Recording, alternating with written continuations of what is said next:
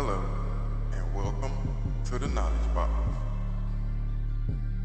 where today we're going to cover the topic of being a boss is also being a leader. A boss is supposed to lead people, plans, or a situation. A boss is going to produce. That's what a boss does. A boss does just tell people what to do. A boss produces results. A boss will make sure the job is done. People choose to follow a boss. It's plain and simple. They choose to follow this boss. They choose to have this person lead them because through this person, things get better. So they know that their option or best option to get what they need or to have a better situation is to deal with the person that is actually going to put forth the effort for everything to be better, which is the boss.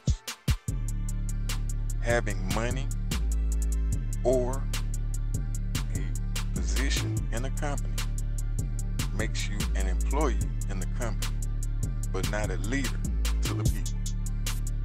It's a lot of times it's some people that get into their head, I made it as a supervisor, I'm a manager.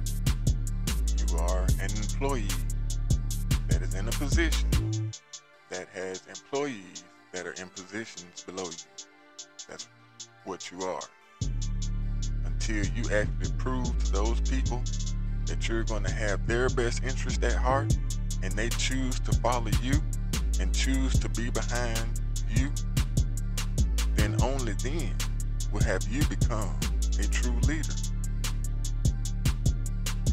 So, if you understand that, you have to earn the right to lead people. This is not something that is just handed to you. You have to earn the right to be a leader.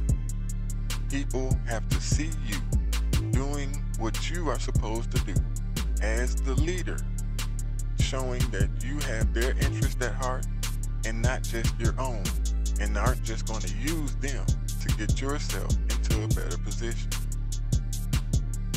When you know that you have to earn that right, then that means that you also know that the people must believe that if you succeed, they succeed. They have to believe that.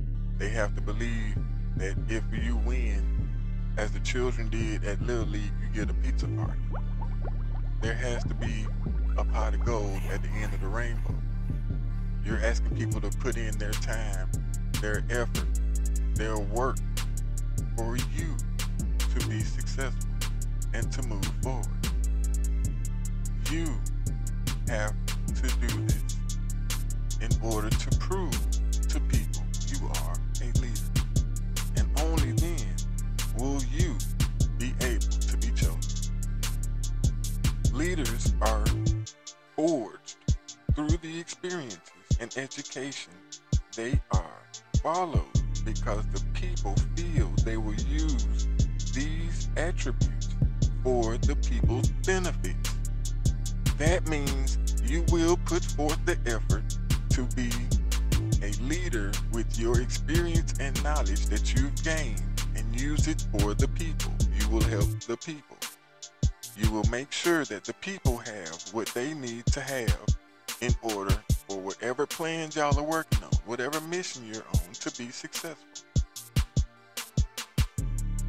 The people have to believe in you, and the people have to choose you in order for you to be a leader. Thank you for enjoying another episode of the Knowledge Box. Subscribe, like, and share so that you can get more of this content and so that more people can get the understanding that you're getting here today.